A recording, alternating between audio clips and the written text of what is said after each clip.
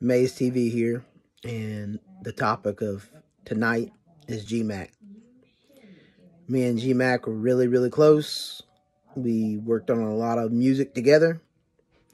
Uh, the person, and I'm going to go on the record about this to all the people that are in Sacramento in the music industry, in the rap music industry, uh, sickness.net, everybody uh, that was down with it, I'm going to go on the record and say that was my fault.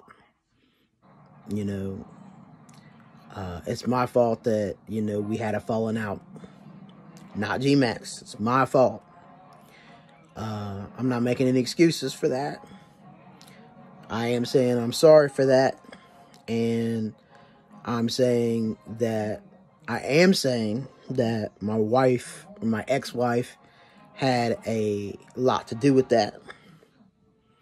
That being said, I'm giving a sincere apology to G-Macc. Uh, I wish him all the best uh, with all his music career and any of the projects that he does. I'm still a fan. Nothing has changed. You know, I still consider you as a friend. So, you know, this is my olive branch, man.